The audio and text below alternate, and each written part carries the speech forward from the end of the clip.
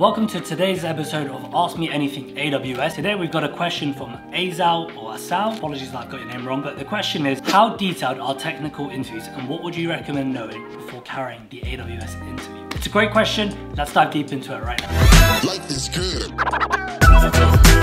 During the interview process with AWS for your, a solutions architect internship, there are two times when you need to do some technical first one is in your phone screen where you talk to a recruiter, and then the second one is you'll have a solutions architect usually that will just ask you about some technical questions. What you really need to understand is what is a solutions architect role? As a solutions architect, you're there to help advise customers on the best technical solution. And customers can really have questions about anything in tech. And so that kind of just sets the scene that with these interview questions, you need to know a lot of breadth but not necessarily loads of depth. There's a bit of caveat there, and it's not to say that you don't need to go in depth. It's definitely a lot more about breadth in most cases. As an example, I will speak to a customer about machine learning, and another customer about serverless, another customer about RDS, another customer about three tier web applications. So it's really about being able to talk about many different flavors of tech. So what I would recommend as a good sort of baseline is check out the AWS Cloud Practitioner exam and go look at the different topics that that exam covers. Now you don't need to necessarily know the AWS service for all of these concepts, but what you do need to know is the concepts behind all of these topics. As an example, you don't necessarily need to know about the different serverless services,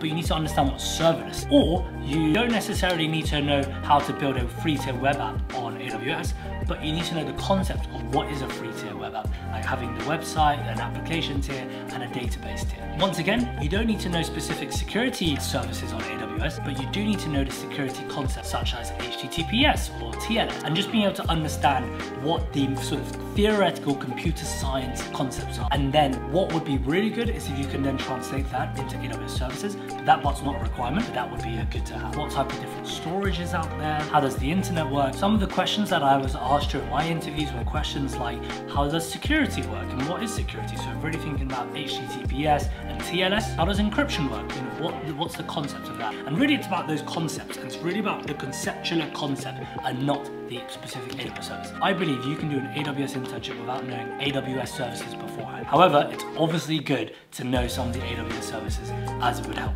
And sort of circling back to my first point, I think the best way to prepare for the AWS internship interviews is to do the cloud practitioner exam. It's not a difficult exam. Really think you can do it in a few days. And it's gonna sort of give you the entire breadth of knowledge you need to know about the internship program and the technical details. Thanks for the question, Asal or Azal. And if you have any questions about tech, AWS, early careers, interviews, internships, just drop them down in the comments below and I'll answer them in a future video.